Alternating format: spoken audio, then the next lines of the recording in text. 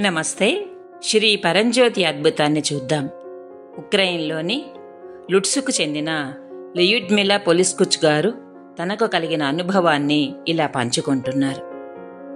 నేను లేనన్న ఆ వాస్తవాన్ని నేను గ్రహించాను.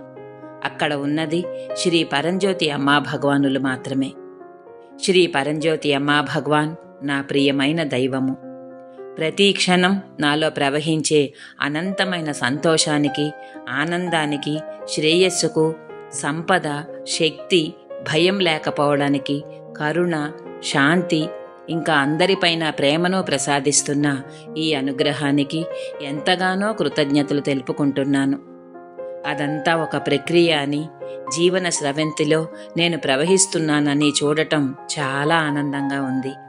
నేను నిరంతరం సేవ చేస్తాను. నేను ప్రజలందరికీ ఇంకా ముఖ్యంగా మన యోధులకు ఆహారం ఇస్తాను. నేను వారిని కౌగలించుకోవడంతో వారు త్వరగా కోలుకుంటున్నారు. రెండు కాళ్ళు వైకల్యంతో ఉన్న వ్యక్తిని నేను కౌగలించుకోవటం జరిగింది. ఆ మరుసటి రోజే అతను నడవగలుగుతున్నాడు. ఎంత ఆశ్చర్యమో! ఇది అందరికీ జరుగుతోంది. మేము పాటలు పాడతాము. మా యోధులను సంతోషపరచుతాము. మా వంతు కృషి చేస్తాము. శ్రీ అమ్మా భగవాన్తో నా జీవితం ఎల్లప్పుడూ పండగ. నా అపార్ట్మెంట్లో ఎల్లప్పుడూ అద్భుతాలు జరుగుతూ ఉంటాయి. నేను వండే ఆహారాన్ని ప్రజలు రుచి చూసి చాలా ఇష్టపడతారు. నేను సంతోషంగా నృత్యం చేస్తూ ఉంటాను.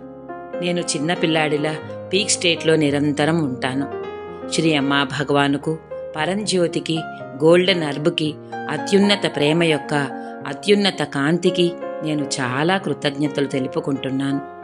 నేనే నువ్వు నువ్వే నేను అని అనుభవిస్తున్నాను. నా హృదయపూర్వక ప్రేమను కృతజ్ఞతను ఆలింగాన్ని తెలుపుకుంటున్నాను.